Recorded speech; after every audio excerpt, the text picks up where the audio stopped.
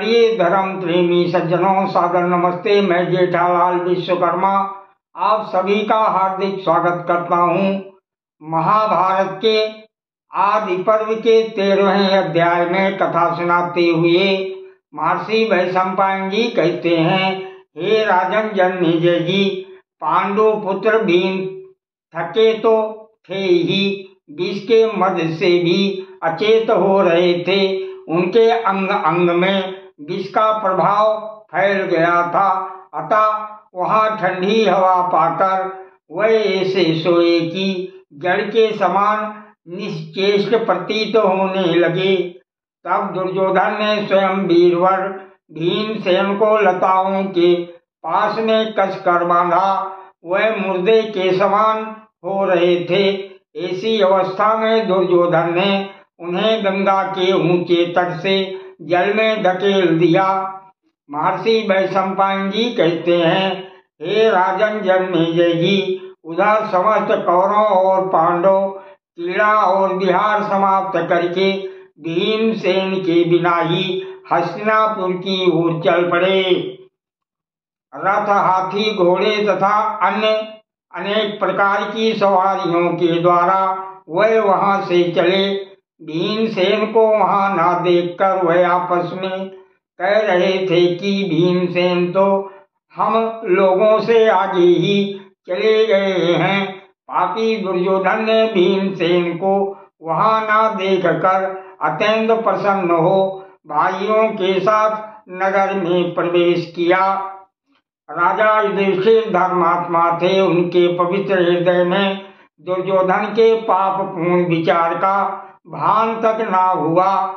वह अपने ही अनुमान से दूसरों को भी साधु ही देखते और समझते थे। भाई पर असीम स्नेह रखने वाले कुंती नंदन युधिष्ठिर माता के पास पहुंचकर और उन्हें प्रणाम करके बोले, हे माता श्री, भीमसेन यहाँ आया है क्या? हे माता वो कहाँ गया होगा? हे सुबह मैं उसे यहाँ भी नहीं देख रहा हूँ। वहाँ हम लोगों ने भीमसेन के लिए उद्यान और वन का कोना कोना छान डाला। फिर भी जब हमें वीरवर भीमसेन दिखाई नहीं दिए, तब हमने यही समझा कि वो हम लोगों से पहले चले आए होंगे। हे महाभागे, हम उसके लिए अत्यंत व्याकुल हृदय से यहाँ आए हैं। यहाँ आकर वो कहीं चला गया है अथवा तुमने उसे कहीं भेजा है। हे स्वस्नी महाबाहु भीमसेन का पता बताओ। हे शोभने वीर भीमसेन के विषय में मेरा हृदय संकित हो गया है। बुद्धिमान धर्मराज युधिष्ठिर के इस प्रकार पूछने पर कुंती देवी हाय हाय करके घबरा उठी और युधिष्ठिर से बोली हे वर्ष मैंने भीमसेन को नहीं देखा है, वो मेरे पास आया ही नहीं। तुम अपने छोटे भाइयों के साथ शीघ्र उसे ढूँढने का प्रयत्न करो। कुंती का हृदय पुत्र की चिंता से व्यथित हो रहा था। उसने अपने ज्येष्ठ पुत्र युधिष्ठिर से उपयुक्त बात कहकर विदुर जी को बुलवाया और उनसे इस प्रकार कहा, हे भगवान, भीमसेन कहीं दिखाई नहीं देता। वहाँ से कहा चला गया? उद्यान से सब लोग लौट आए, परंतु भीमसेन अभी तक लौटकर मेरे पास नहीं आया। वो सदा दुर्योधन की आँखों में खटकता रहता है। दुर्योधन क्रूर, दुर्बुद्धि, क्षुद्र राज्य कालो भी तथा निर्लज है। अतः संभव है वो क्रोध में वीर भीमसेन को धोखा देकर मार भी डाले।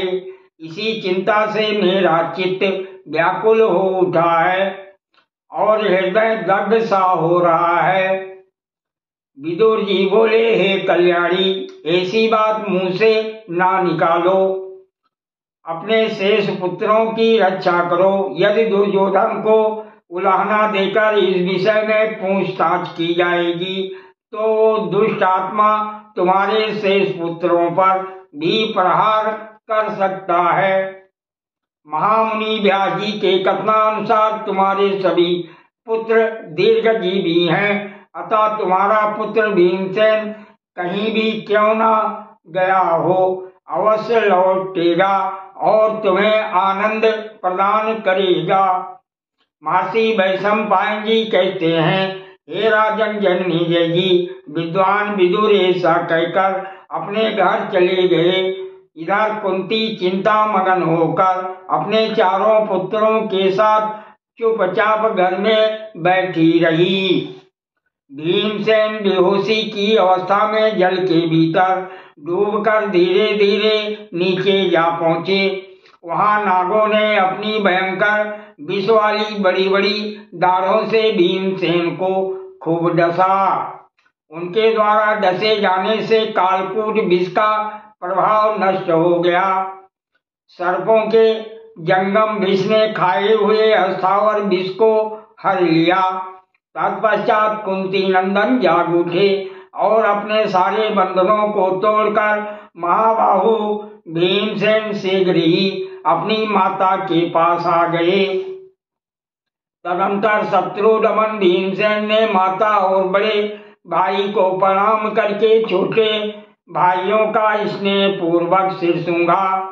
माता तथा उन नरश्रेष्ठ भाइयों ने भी उन्हें हृदय से लगाया। तथा एक दूसरे के प्रति स्नेह अधिक के कारण सबने भीमसेन के आगमन से अपने सौभाग्य की सराहना करते हुए, अहो भाग्य अहो भाग्य, ऐसा कहा। तत्पश्चात महान बल और पराक्रम से संपन्न भीमसेन ने दुर्योधन की वह सारी कुचेष्टाएँ अपने भाइयों को बताई। तब राजा युधिष्ठिर ने भीमसेन से ये अर्थयुक्त बात कही। ये भैया भीम तुम अभी सर्वथा चुप हो जाओ। तुम्हारे साथ जो कुछ हुआ, उसे कहीं किसी प्रकार भी ना कहना। यो कहकर महाबाहु धर्मराज युधिष्ठिर अपने सब भाइयों के साथ उस समय से अति सावधान रहने लगे।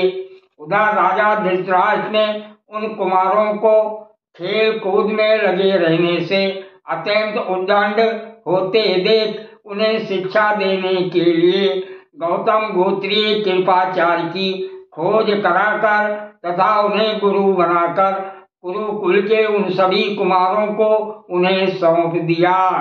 सादर प्रणाम। जय श्री किला